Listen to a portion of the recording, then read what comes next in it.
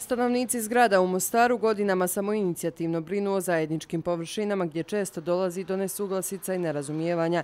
Kada bi se primijenio već postojeći zakon, građani bi samo jednim pozivom imali upravitelja koji bi vodio računa o održavanju. Mislim da je to jedini put i dobar put, da imamo upravitelje objekata, da znamo s kim razgovaramo, da nam se ne dešava da se fasada radi dva kata, pa tri ne radi, pa četiri radi, pa svak ima svoju boju s kojom radi i onda grad ne ličini našta.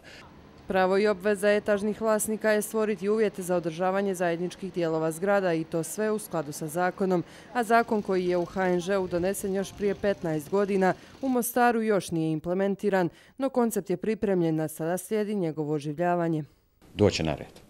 A kada dođe na red, ostaje pitanje na koji način će se implementirati. Predsjednik Udruge za upravljanje kvalitetom življenja kaže zakon je odličan, ali potrebno je definirati minimalnu cijenu i uslugu, kao i dati prostora za poslenju ljudi, a ne samo jednoj firmi. Mi imamo toliko nezaposlenih e, ljudi koji znaju okrećit haustor, koji znaju promijeniti cijalcu, koji znaju očistiti haustor, zbog čega to nije u zakonu. Dakle, promjenom dva, tri članka taj zakon postaje odličan. Iako odličan i potreban, zakonu su mostarci još ranije rekli ne. Naravno da niko nije za to zainteresiran. Čak ni ne piše koje su to usluge koje ćemo dobiti. Nije jasno, hoćemo li dobiti stačicu. Dakle, ništa nije jasno. I naravno da nitko nije za to zainteresiran. Zato nisu zainteresirane firme, jer se ne zna što točno rade.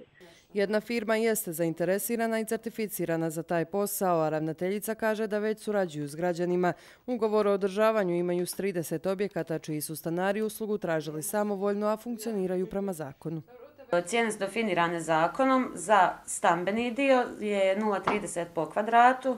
E, površina poslovnog prostora i garaže je 0,20 po kvadratu.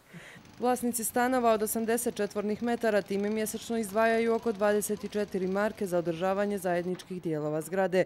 Marić smatra da cijena nije visoka u odnosu na uslugu. Danas sutra stane lift, bude kvar, e, treba pripremiti čistačice, treba e, javnu površinu oko zgrade e, srediti.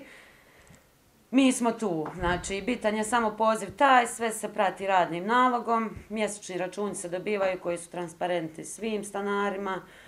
Na taj način osigurana je puna funkcionalnost zajedničkih površina kao i kućni red. Hoće li i ovoga puta Mostarci, kada zakon bude proveden, jedini u Županiji reći ne, kako ih animirati i uvjeriti u njihova prava i obveze, a koje se tiču zajedničkog vlasništva, izazov je za gradsku upravu.